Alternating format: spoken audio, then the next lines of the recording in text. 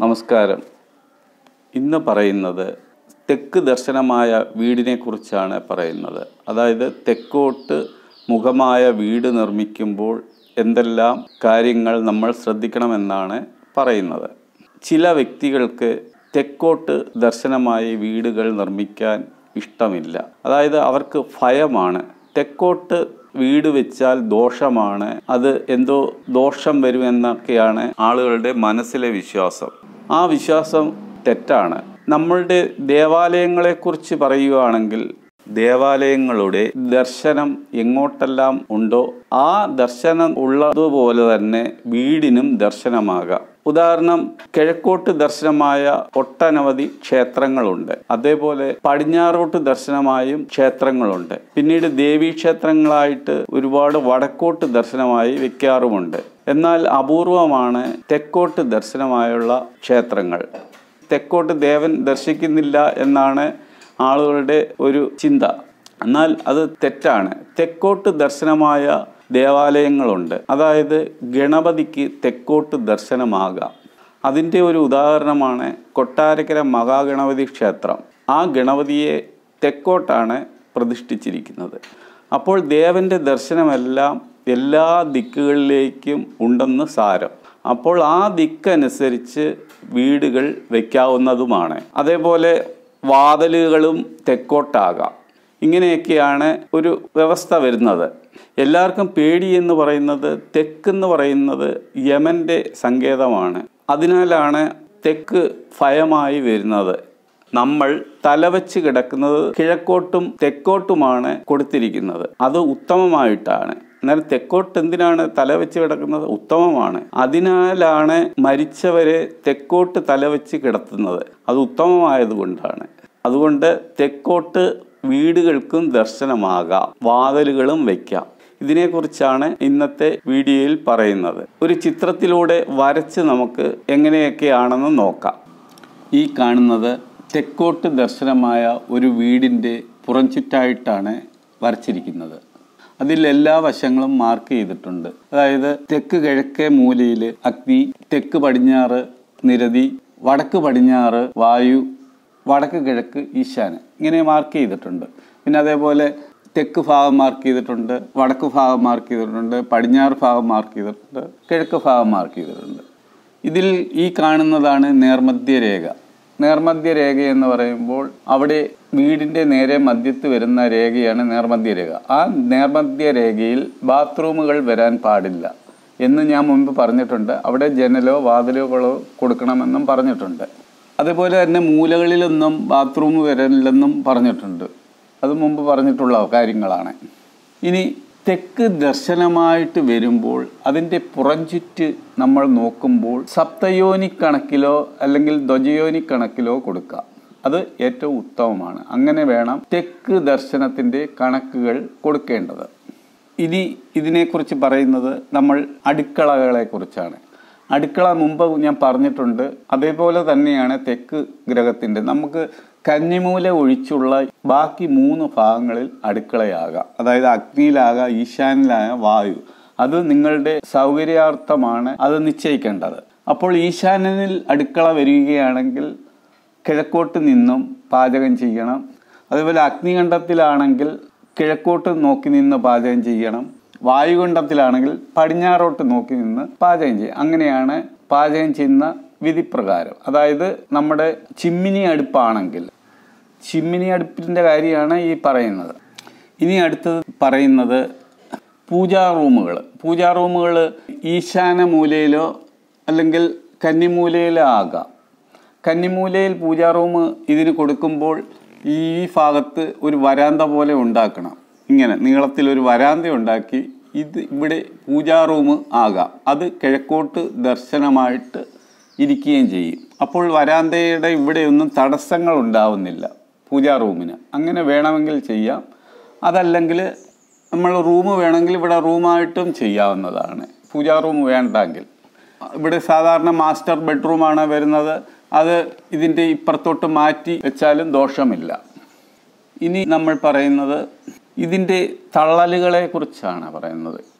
തെക്കോട്ട് ദർശനമാകുമ്പോൾ എങ്ങനെയാണ് തള്ളലുകൾ വരേണ്ടതെന്ന് തെക്കോട്ട് ദർശനത്തിന്റെ അതായത് തെക്ക് വശത്ത് ഈ മൂലയിൽ നിന്നും ഇവിടെ മുറികൾ കൊണ്ട് തള്ളാൻ പാടില്ല. അതേപോലെ ഇങ്ങോട്ടും തള്ളാൻ പാടില്ല. ഇങ്ങോട്ടും തള്ളാൻ പാടില്ല. അതൊരു നിയമമുണ്ട്. അതായത് അതിന്റെ ഉദ്ദേശം എന്ന് പറയുമ്പോൾ കന്നിമൂല ഭാഗത്ത് നിന്ന് ഒരു നേർരേഖ പടിഞ്ഞാറുനിന്ന് വരച്ച് അതേപോലെ കന്നിമൂലയിൽ നിന്നും കിഴക്കോട്ട് രേഖ അതായത് ഈ രേഖ ഈ രേഖയിൽ തള്ളലുകൾ പാടില്ല എന്നാണ്. അതായത് കന്നിമൂലയിലൂടെ വരുന്നത് നേരെ പോകണം. അതായത് തടസ്സങ്ങളൊന്നും ഉണ്ടാവാതെ നേരെ തന്നെ പോകണമെന്നാണ് അതിന്റെ വിധി. ഇങ്ങനെ വരുമ്പോൾ നമുക്കൊരു മുമ്പിലൊരു ഭൂമുഖം വേണം എന്ന ആലോചന വരും. അങ്ങനെ ഭൂമുഖം വരുമ്പോൾ ഭൂമുഖം എന്ന് പറയുമ്പോൾ മുഖയാമോ. അതായത് ഇവിടെ ഒരു ഇങ്ങനെ സിറ്റ് ഔട്ട് പോലെ ഒരെണ്ണം ഇങ്ങനെ കാണിക്കുന്നതാണ് പൂമുഖം തെക്കോട്ട്. ഇങ്ങനെ തള്ളുമ്പോൾ അതിന് ചെയ്യണ്ടേ എന്നുള്ള ഇതാണ് വരുന്നത്. അങ്ങനെ ചെയ്യാം. അതിനൊരു മാർഗം എന്ന് പറയുന്നത് വീടാണ്. വീടിന്റെ പൊക്കം. ഇത് അടിസ്ഥാനം. ഇതാണ് വീടിന്റെ പൊക്കമായിട്ടാണ് കാണിച്ചിരിക്കുന്നത്. ഇത് തെക്കോട്ടാണ് കൊടുത്തിരിക്കുന്നത്. തെക്കോട്ട് ദർശനമായിട്ട്. അപ്പോഴും നമ്മൾ ചെയ്യേണ്ടത് മുമ്പിൽ ഒരു മുഖയാമം കൊടുക്കുന്നു അല്ലെങ്കിൽ പൂമുഖം കൊടുക്കുന്നെങ്കിൽ ഈ അടിസ്ഥാനത്തിൽ നിന്നും തള്ളി അല്പം താഴ്ന്നു നിന്ന ഏറ്റവും ഉത്തമമായി അടിസ്ഥാനത്തിൽ നിന്നും മുഖയാമത്തിന്റെ അടിസ്ഥാനം അല്പം താഴ്ന്നു നിന്നാൽ ഏറ്റവും അതുപോലെ ഫിത്തിപ്പൊക്കം. ഫിത്തിപ്പൊക്കം എന്ന് പറയുമ്പോൾ ഉത്തരം. ഉത്തരത്തിന്റെ പൊക്കത്തിൽ നിന്നും താന്നിരിക്കണം മുഖയാമത്തിന്റെ പൊക്കം. ഇത് വേർവെട്ട് നിൽക്കുന്നതായിട്ടുള്ള നിയമമാണ് വരുന്നത്. അതായത് ഇതിൽ നിന്നും താന്നു നിൽക്കുന്നു വേണം തെക്കോട്ട് ദർശനമായ ഉള്ള മുമ്പോട്ട് തള്ളുമ്പോൾ ഉള്ള കാര്യം. അത് അങ്ങനെ നമുക്ക് ഈ മുഖയാമം ഇവിടെ സെറ്റ് ചെയ്യാവുന്നതാണ്. അപ്പോൾ ഇങ്ങനെ സെറ്റ് ചെയ്യുമ്പോൾ അതായത് ആരൂഢത്തിന്റെ ചുറ്റും മുഖയാമം ഉൾപ്പെടെയുള്ള ആകെ ചുറ്റും നോക്കേണ്ടതാണ്. ഇങ്ങനെ താന്ന് നിൽക്കുമ്പോൾ നമ്മൾ ഈ കാണുന്നതിന്റെ കാര്യം മാത്രം ബ്രഹ്മസൂത്രം യമസൂത്രം അതായത് നേർമധ്യരേഖ ഇവിടെ നിന്നും നോക്കിയാലും മതിയാകും ഇതിൽ നിന്നും. അങ്ങനെ നോക്കുന്നതിൽ ദോഷമില്ല. ഇനി പറയുന്നത് ഇതിന്റെ വാതിലുകളാണ്. വാതിലുകൾ ചില ആളുകൾ തെക്കോട്ട് വീട് വെച്ചിട്ട് കിഴക്കുന്ന് കയറുന്ന രീതിയിൽ പടിയുണ്ടാക്കും. അങ്ങനെ ചെയ്യുന്നതിൽ ദോഷമില്ല. പക്ഷേ തെക്കോട്ട് വാതിൽ വെക്കാൻ എല്ലാവർക്കും പേടിയാണ്. തെക്കുന്ന് കയറി വരുന്നതും തെക്കുന്ന് ഇറങ്ങുന്നതെല്ലാം കയറി അത് തെറ്റായ ചിന്തയാണ്. അതായത് ഇവിടെ വാതിൽ വേണമെങ്കിൽ വെക്കാം. ഇവിടുന്ന് തെക്കോട്ട് ഇറങ്ങാം. പിന്നീട് ഇവിടെ വെക്കുന്നതിൽ ദോഷമില്ല. നല്ലത് തന്നെയാണ്. അതേപോലെ തെക്കോട്ട് വെക്കുന്നതിലും ദോഷമില്ല. ഓരോരുത്തരുടെ മാനസികമായ വിഭ്രാന്തി മാറാനാണ് ഇവിടെ വെക്കുന്നത്. അങ്ങനെ വെച്ചോളൂ. കുഴപ്പമില്ല. ഇനി ഇതിന്റെ വേസ്റ്റ് വരുന്ന കാര്യങ്ങളാണ് പറയുന്നത്. അശുദ്ധിയായ ടാങ്കുകൾ വരുന്നത് നോക്കുക. അതായത് ബാത്റൂമിന്റെ ടാങ്ക് എല്ലാം വരുന്നത് എവിടെയാണെന്ന് നോക്കുക. അതും പഴയ രീതിയിൽ തന്നെയാണ്. തെക്കായാലും കിഴക്കായാലും പടിഞ്ഞാറായാലും ദർശനമുള്ള വീടായാലും എല്ലാം ഒരു ഭാഗത്ത് തന്നെയായിരിക്കണം അതായത് ഈ കാണുന്നത്. നേർരേഖ വിട്ട് വായുഗണ്ണത്തിന്റെയും ഈ ഭാഗത്തായിട്ട് രണ്ടിന്റെയും നേർരേഖ വിട്ടിട്ട് ഇവിടെയോ ഇവിടെയോ ബാത്റൂമുകളോ ബാത്റൂമിന്റെ വേസ്റ്റുകളോ കളയാവുന്നതാണ്. മറ്റുള്ള ഭാഗത്ത് വേസ്റ്റ് കളയണമെന്നുണ്ടെങ്കിൽ വീടിനൊരു മുറ്റം തിരിച്ച് മുറ്റത്തിന്റെ വെളിയിൽ കൊണ്ടുവന്ന് കളയുകയും ചെയ്യാം. അതും അതിന്റെ സ്ഥാനങ്ങൾ നോക്കി വേണം ചെയ്യേണ്ടത്. അതായത് സ്ഥാനങ്ങൾ നോക്കുമ്പോൾ മുറ്റം തിരിച്ച് വെളിയിൽ കളയുമ്പോൾ ഇതിന്റെ നേർമധ്യരേഖയ്ക്ക് നേരെയൊന്നും വേസ്റ്റ് കളയുന്നത് കുഴികൾ ഉണ്ടാക്കരുത്. അതൊക്കെ നോക്കി അത് മാറ്റി ഒഴിച്ച് വേണം ചെയ്യേണ്ടത്. ഇനി തെക്ക് വശത്തൊരു ഗേറ്റ് വന്നാൽ എങ്ങനെ ഇരിക്കുമെന്ന് നോക്കാം. ഈ വീടിന്റെ തെക്ക് വശമാണ് മുൻവശം. ഇവിടെയാണ് റോഡ് വരുന്നത്. അതിന്റെ ഗേറ്റും ഇവിടെ കൊടുക്കാവുന്നതാണ്. അതായത് ഗേറ്റിന്റെ നേരെ വശത്തായിട്ട് ഈ വീടിന്റെ നേരെ വശത്തായിട്ട് വേണമെങ്കിൽ പടിപ്പുര വാതിൽ കൊടുക്കുന്നത് ഏറ്റവും നല്ലതാണ്. പിന്നീട് വാഹനം കയറുന്ന വഴി ഇതിനിപ്പുറത്ത് മാറി ഈ വശത്തായിട്ട് കൊടുക്കേണ്ടതാണ്. ഈ വശം എന്ന് പറയുമ്പോൾ അഗ്നികണ്ഠത്തിന്റെ ഭാഗമാണ്. അതായത് അഗ്നികണ്ഠം ഇതാണ്. ഈ ഭാഗത്ത് ഇവിടെ വാഹനം കയറുന്ന വഴിയാകാം. പിന്നെ വാഹനം പാർക്ക് ചെയ്യാൻ പ്രത്യേകിച്ച് വേണമെങ്കിൽ ഇവിടെ ഒരു പോർച്ച് ഉണ്ടാക്കി ഈ ഭാഗത്ത് വാഹനത്തെ പാർക്ക് ചെയ്യാവുന്നതാണ്. അങ്ങനെ പോർച്ച് ഉണ്ടാക്കുമ്പോൾ ഈ ഇതിൽ നിന്നും വേർവിട്ട് വേണം പോർച്ചുകൾ ചെയ്യാൻ. ചേർന്നിരിക്കരുത്. തെക്കോട്ട് ദർശനമാകുമ്പോൾ. ഇനി പറയുന്നത് വീടിനകത്ത് സ്റ്റെയർ ചെയ്യുമ്പോൾ അതായത് ഹാളിലോ മറ്റേതെങ്കിലും ഭാഗത്ത് മുകളിലത്തെ നിലയിലേക്ക് കയറാനുള്ള സ്റ്റെയർ ചെയ്യുമ്പോൾ ക്ലോക്ക് വൈസ് ആയിട്ടായിരിക്കണം ചെയ്യേണ്ടത്. അപ്പോൾ നമ്മൾ പ്രത്യേകം ശ്രദ്ധിക്കേണ്ടത് ഇപ്പോൾ ഈ വശത്ത് തെക്ക് വശത്ത് നിന്ന് കയറുന്ന രീതി. അതാ തെക്കോട്ട് മേളിലോട്ട് കയറുകയാണ് ഇവിടെ നിന്ന് തെക്കോട്ട്. ഇത് ക്ലോക്ക് വൈസ് ആണ് നേരിട്ട് തെക്കോട്ട് ലാൻഡ് ചെയ്യാൻ പാടില്ല.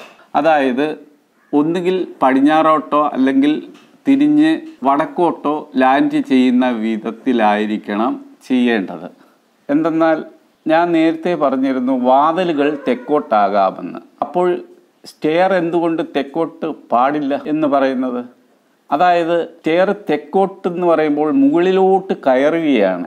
മുകളിലോട്ട് കയറുമ്പോൾ നേരിട്ട് തെക്കോട്ട് ലാൻഡ് ചെയ്യാൻ പാടില്ല. അതിന്റെ ഒരു ഉദ്ദേശം എന്ന് പറയുന്നത് അവനെ തെക്കോട്ടെടുത്തു.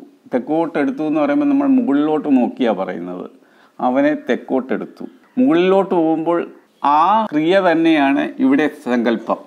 അതായത് മുകളിലോട്ട് കയറി തെക്കോട്ട് പോകരുത്. അതായത് തിരിഞ്ഞ് ഒന്നുകിൽ പടിഞ്ഞാറോട്ടോ അല്ലെങ്കിൽ വടക്കോട്ടോ കയറുന്ന രീതിയിൽ ചെയ്യുക. ഇങ്ങനെ വേണം ചെയ്യേണ്ടത്. ഇത്രയൊക്കെയാണ് പ്രധാനമായും തെക്കോട്ടുള്ള കാര്യങ്ങളെക്കുറിച്ച് പറയുന്നത്. നമസ്കാരം. ദൈവത്തിലും വാസ്തുവിലും വിശ്വാസമുള്ളവർക്ക് വേണ്ടിയാണ് ഈ ചാനൽ. ഇഷ്ടപ്പെട്ടെങ്കിൽ നിങ്ങൾ ദയവായി സബ്സ്ക്രൈബ് ചെയ്യുക.